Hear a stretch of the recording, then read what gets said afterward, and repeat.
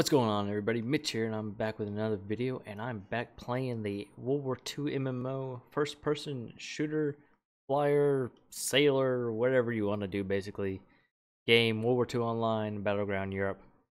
Game that I've been playing since 2004 game still looks a little bit like 2004 but they're getting a little bit better. Uh, but today I'm going to be doing some level bombing with the HE-111 one of my favorite World War II aircraft and I figured I'd show you guys what I do to do that. Maybe I'll learn something. Maybe you guys want to try out this game yourself. Have a little fun.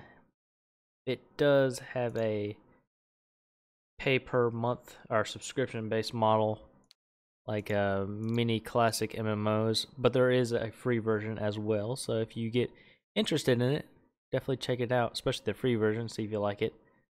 But what I'm going to first do here is I picked a target. We're going to go for Cochem is a town that is under attack. We have the south side of the town, it looks like, but the north is still well held by the French.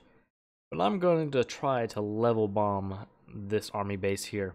So what I'm doing is I'm looking at these coordinates over here, which are disappeared because I'm not on the map anymore, but now they return. I'm seeing that I need to stay in between 7.1136 and 7.1143 to be able to hit this target. Now the way I'm going to know if I'm lined up is because my coordinates are down here on the bottom left. Right now I am at 50.22.4 north and 7.17.5 east. So I'm wanting my east coordinates to be lined up with those coordinates I mentioned before, which once again is 711.35 and 4344-ish. Uh, I'll probably have to look at it a couple times because I won't remember it. I guarantee it. I'm going to try to get to about 2,000, uh, 2K and try to level out and I'll explain a little bit more once we get up to a decent uh, altitude. And we'll go from there. So I'm not gonna fly straight to the target. I want to get elevation first. Uh, I kind of learned how to do this over time. Like I said I've been playing World War II Online since 2004 uh, and at one point I was in the in-game high command on the German side, even though I was at some point on the Allied side high command as well. Uh, but I was in charge of one of the bomber groups, and we did factory bombing to slow down the Allied side's uh, production. Very long, very slow missions, large groups of planes, uh, but very rewarding. A lot of fun. And very stressful whenever uh, you happen to meet enemy fighters up at altitude. Now I'm not expecting too much stress this go around. I think I should be relatively clear. We have a friendly airbase nearby, although they have one as well. Uh, but at the height I'm going to be, I'm going to definitely get my bombs off before they, they catch me, unless someone gets extremely lucky and finds me very early before I'm even near town. But like I said, I'm trying to get to 2k altitude. What gauge you want to be looking at here, and I'm going to let the nose dip a little bit so I can get the mouse cursor, I can always recover it. This gauge right here is the one we're looking at. I let the nose dip a lot there. Try to keep a uh, angle of attack of about 5 here. Climb about 5 meters per second. And I want that little sight glass there to be reading at least 2. More would be great, but 2 makes me feel slightly safe. The higher you are, the less likely you're going to run into fighters. You know, I can bomb from anywhere and be happy. Now, if I had any friends online, I could either be flying the plane or I could be uh, crewing one of the positions here. You know, either the, the bomber's position, uh, you know, or one of the, the multiple gunner positions on this aircraft as well. But since, you know, I have no friends, I will go ahead and do everything myself. That's not true. I have many friends who play this game. So let's say we've already broken over 1k. We're climbing. And we're at about 1.1 right now. And I'm going ahead and turning to the left to start intercepting that coordinate I told you, which I believe was 7... Was it 735? Or 711.35? Let's double check ourselves here. Like I said in the beginning, I'm going to check this a lot. 711.35. 0.44. 0.44 will be a little bit out, so we're trying to stay closer to the middle of that range. Checking your map is uh, pretty crucial to make sure you're on target. Watching your coordinates, very crucial that you stay on target. When you're bombing something this close, like this city is not far away at all. It's a city over, basically, or two cities over. Uh, you gotta plan out a little bit further prior to making your run. If it's if I were bombing one of these factories that are you know way over here, I would have a long time to get to altitude, and then to worry about uh, getting to the right coordinate. But you know we're not going for one of those long ones because I don't have enough time today to be doing such silly stuff. So I'm going to go ahead and start trimming out the aircraft. Trimming it basically means setting little tiny you know, how to explain it, little tiny uh, ailerons or wings at an angle that'll help hold the plane at a certain, you know, pitch or yaw or however you set it up. Right now I'm adjusting elevation so that'll adjust my pitch. I'm trying to adjust my pitch to where I'm nosed up a little bit more because this plane has a tendency to want to nosedive until it gets a little bit faster because it's, you know, it's a big girl. So we're approaching our desired altitude of 2K here. You can see that little sight window. Once it reaches dead center down there, or 6 o'clock position, means we just hit the 2K, so we can stop climbing. Make sure we adjust our trim a little bit, so hopefully we don't lose that altitude. And we'll go ahead and make sure our gauge is set over here. Now we're looking in the top left corner, and we're looking at these gauges right here. You got the same altitude gauge, which shows we're at 2 K, basically. There we go, we fix it. And then we're looking at this uh, airspeed indicator. Now, this is the indicated airspeed, R-I-A-S, the indicated airspeed gauge. It's probably going to be somewhere around 300 by the time we get to target, so we're going to go ahead and set it there. And now we're watching the bottom left corner down here. Remember, we need to be at 7.11.35 or 0.4 three, four, four ish. So we're gonna go ahead and want to start heading south so we don't miss that mark, which we've already flown past. That's how fast it happens. So we're gonna have to readjust. We're gonna have to fly a little bit to the what's that east to get back on target here. We'd probably still hit something over here, but it's not the army base, which what we're aiming for. So we're going to fly a little bit to the east. We're going to adjust our trim. There's a lot going on right now. So you got to be on your toes. And we're just going to make some small corrections, get back corrected. Get back corrected. See, we're already back in target. We're at 38 now. We need to be heading dead south, though. So we're at 41. That'll put us on target. We're a little bit below what we want as far as altitude, but that's okay because we can adjust. The altitude, like I said, is mostly for us to feel safe in the air. Uh, let's make sure that our gauge is lined up, or our bomb sights lined up. It was completely off. So if we were looking through the gauge and trying to aim at our target, we would have hit nothing. So we don't want to do that. We're going to turn a little bit back this way. And we got a Spitfire ahead of us. He's going to engage us for sure. Yep, there he goes. But that is okay. Because we should be able to get our bombs off on target. Let's double check our speed before we get going here. We're a little bit faster than what we thought. So we'll set that a little bit higher. And we're a little bit off target. We'll make a quick correction here. And we'll just go ahead and drop our bombs.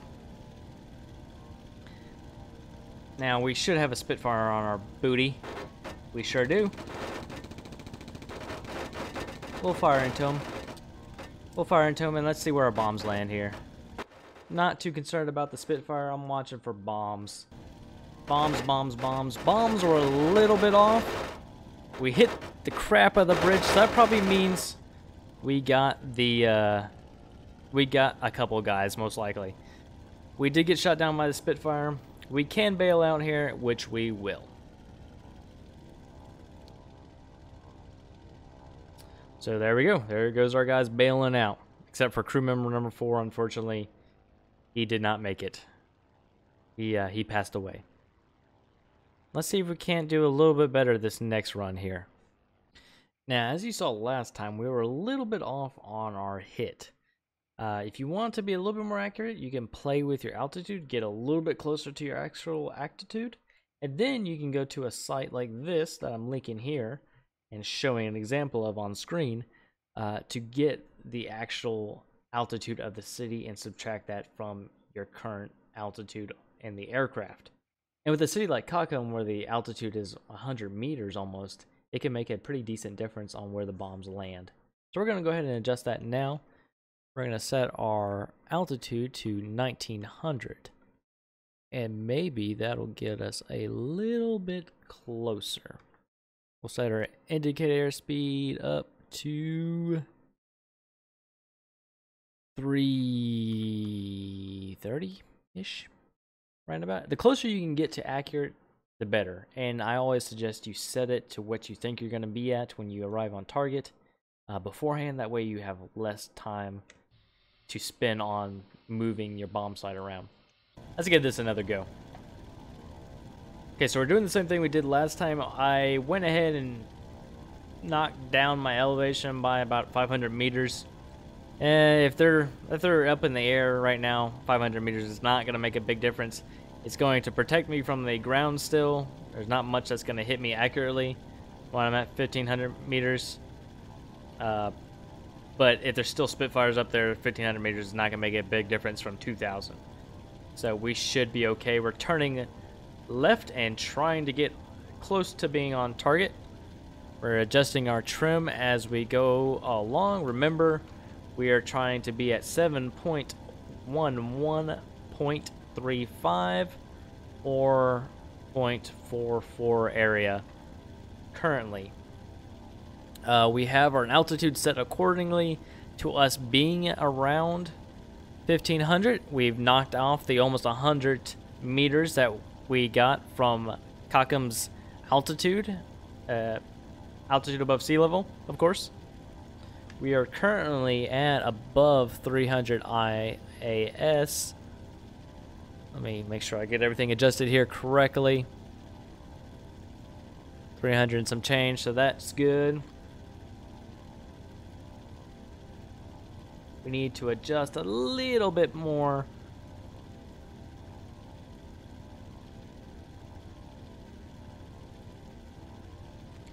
Make sure we get everything on target here.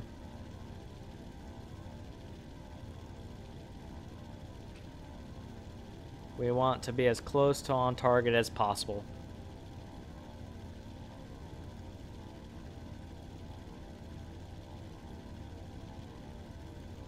Feeling pretty decent about that. We're going to go ahead and make sure we correct our speed. We're up to 330-ish. Our altitude is a little bit high for what we'd like. We're at in between 4 and 5, so we should be at like 3, that range. And we are close to being on target, but we need to adjust a little bit. Now look at that. That's the sight picture we want to see. That's perfect. We're going to release early try to get at these bums. We uh, lost our autopilot because our, you know, center of gravity on our plane changed. The plane got a lot lighter. And we're going to go watch these bombs hopefully splash somewhere near target. There they go, right on target. That was a good hit. See, making that little difference of 100 meters and making sure everything was on point makes a very big difference on where your bombs land. So let's go. Uh, let's return home and see what uh, see what happens.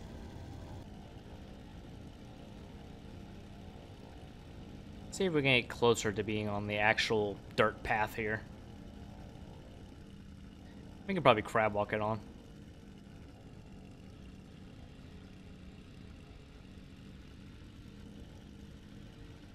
Flaps all the way down.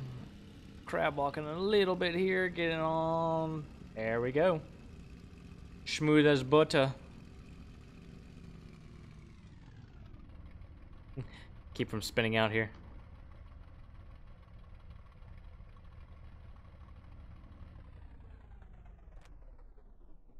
Okay, so let's go for a little bit sexier of a target and a little bit more dangerous of target. Let's try to bomb this French airfield over here, or is it a British airfield? Okay, so technically it's a British airfield. It's spawning British aircraft. If it's spawning anything, no guarantees there's going to be anything on the ground when we get there. But hey, it's a uh, unique challenge. We're going to have to go a little bit higher up now because the anti-air artillery at this airfield will be devastating. And the higher up we are, it's going to be harder to hit. Plus, We'll see the target sooner in our bomb sight. We can release and then peel out and head home.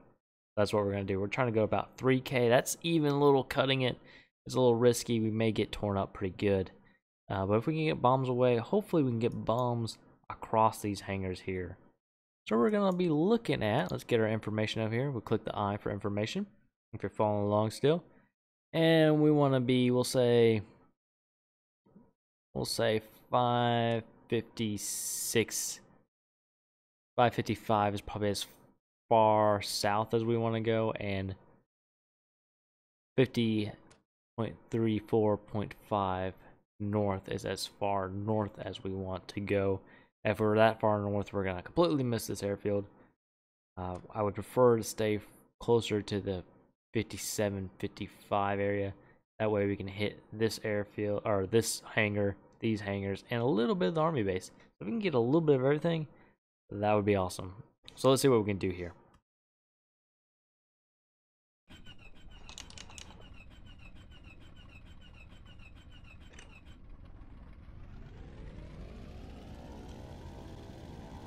We're making our slow turn to get to uh, the west here. We gotta stay a little bit to the south still because we want to get to 50.33.5556 range. Uh, we're looking at the bottom right still, seeing what we're looking at. Right now we're currently at 50.3421. Actually, anyway, we'll probably go a little bit more southish so that number goes down a little bit faster. We're almost to our cruising altitude of 3,000 meters. Uh, and then we can start setting everything up and make sure we're lined up to hit our target. So we're quickly coming up on 3-3. Not quite there yet. And we're quickly coming up on 3,000. Now while we'll level off here.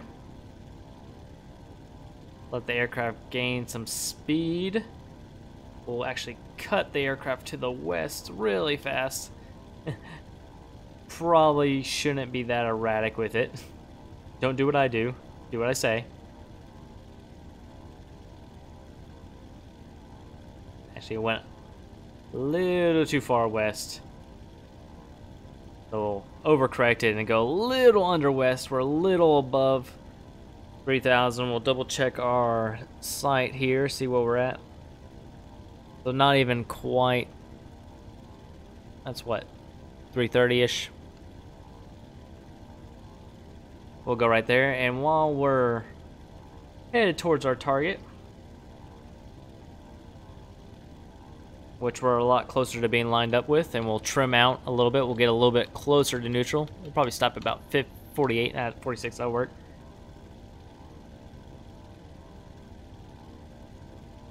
correct my uh, bearings here. We're to go ahead and look up and see what the airfield altitude of Verviers is. So, Verviers altitude from my data says it's 335 meters, so we'll subtract that from what we're aiming at.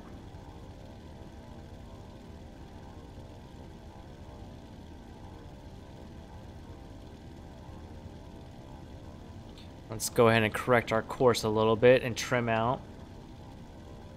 We went a little bit past what we wanted. It's okay though. Just a series of corrections. When you're this far out from the target, doesn't really matter. It's okay.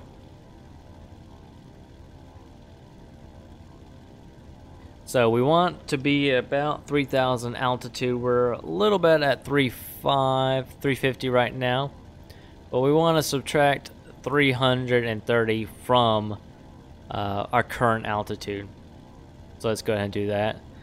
That's 100, 200, 300, and some change there.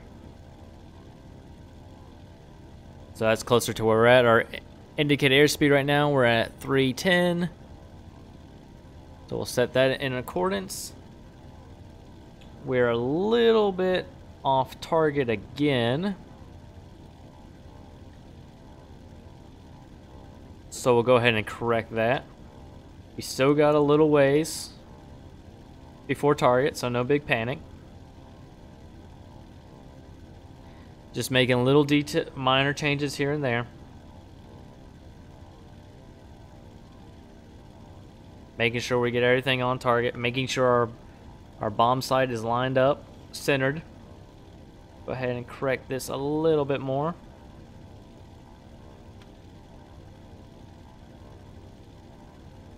Everything's starting to come into picture a little bit better here. We're at 49. See what we can see on the ground. We can't see the woods yet. That's a good sign. We just passed that road in our bomb sight. That's good news. Make sure our altitude is all set still. Probably lower this a little bit, closer to 60, that's about right.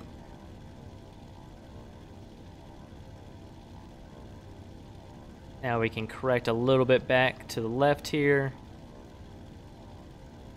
There's the woods. Okay, perfect. Correct a little bit to the left again.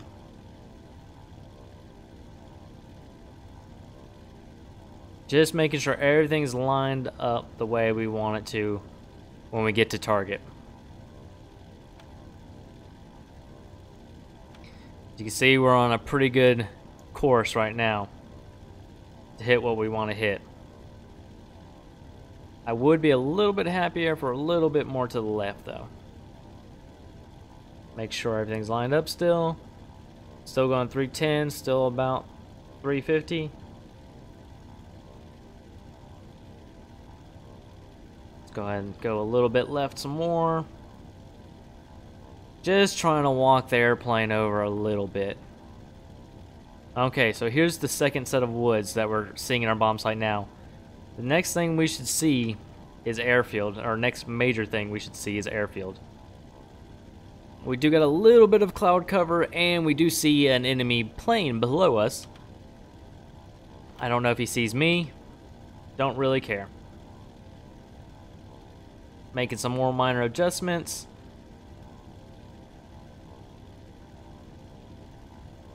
And I'm hitting A, which is autopilot, just to snap the plane right back in. It's a little gimmicky thing you can do to get the airplane to do what you want, just to make these little changes. We're seeing some flak now, which means we are well within where we need to be. And there's the airfield. We are lined up pretty perfect for what we want. Yeah, pretty perfect. Hopefully we don't take too many shots here. We are hearing a couple of plinks, but nothing to be concerned with. Let's go ahead and start releasing some bombs. There we go. That's something to be concerned with. That was a good hit on. Let's get the hell out of here now. Most of our crew member has been hit. Let's see if we can't get out of here and spot our bombs at the same time. Looking for bomb hits. Any hits would be great. There they go. All the way across the airfield. Both hangars got it. We didn't get any of the army base. I panicked a little bit. Was getting torn up pretty good by the AAA. But uh, we're safe now. We we make it out. We're gonna make it out. Our crew member number five looks like he got hit. It says his head, but it must have been just some shrapnel because he is not dead, obviously. Uh, but now we're gonna return home. Hopefully, hopefully none of those aircraft find me. It's very possible they will. They were very low. Gonna get in our gunner spot. We do see some flak, but no enemy aircraft, so we may be able to run out of here uh, just fine. Looking uh, at the belly gunner, the guy who took the brunt of all that beating. Nope, nothing there. So yeah, let's uh, let's return home and hopefully uh, we'll be able to land. Let me uh, turn down my engine speed a little bit. The engines, look here in the bottom right corner, the two gauges with the Celsius on it. That's how hot my engine's are running. Over 120 Celsius, which is not good. Eventually they will cook and burn up and stop working for me, which none of that is good. So we're going to cool it down on our return home.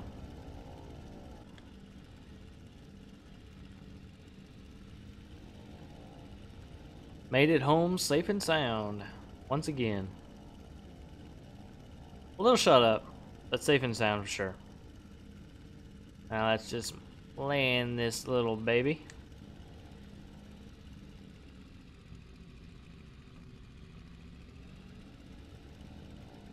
Little wobble at the end there, a little bounce. But she's home in one piece. That's what counts. Well, looking at the AAR here, it looks like we didn't catch anybody on the ground sleeping, but that happens sometime, especially with those kind of missions where you're just kind of taking a shot in the dark and see if you can catch someone on the ground. We obviously saw some aircraft around, so we probably just missed some uh, targets of opportunity there. Uh, but yeah, that's going to do it for this video. I hope you guys learned something. Hopefully uh, you can at least use the HE-111 in a level bomb scenario in the future and be able to accurately hit your targets. If you like this video, please like, comment, or subscribe to my video. Share it. Let other people know, please. I like spreading the word about this channel. Of course I do. It's my channel. Uh, but until next time, have a great one. Later, everybody.